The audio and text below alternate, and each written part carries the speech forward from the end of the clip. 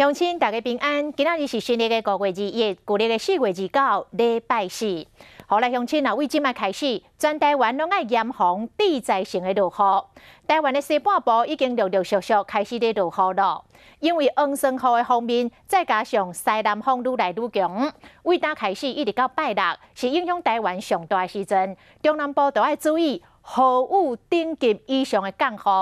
气象局针对高雄、屏东、台东发出着雨特报，嘛针对新北市、嘉南、宜兰、平湖、甲中南部其他六个县市来发布着大雨特报。咱嘛帮乡亲整理出即礼拜雨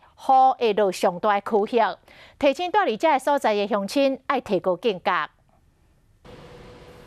北部会早就蒙蒙啊雨，但是到下一波开始会风云变色，随着地流方面甲西南气流影响。拜四半波开始，全台拢会落大雨。在今天到礼拜五，哦，全台各地呢雨势都是比较大的，也都是有短时强降雨发生。那当然，因为还有西南气流影响，最大的雨势会在中部跟南部，但是北部跟东半部受到封面影响，也是会有短时强降雨出现。那么，整理这波梅雨方面的重点雨区，拜四阴暗，落雨是以中部为主，新竹苗栗雨势上大，拜五日是西部拢有雨，暗时台中南岛以南拢是主要降雨区。到拜六日是除了华东以外，全台风大雨。拜六暗时方面往南移，高屏台东是降雨重点。礼拜日春屏东台东有雨。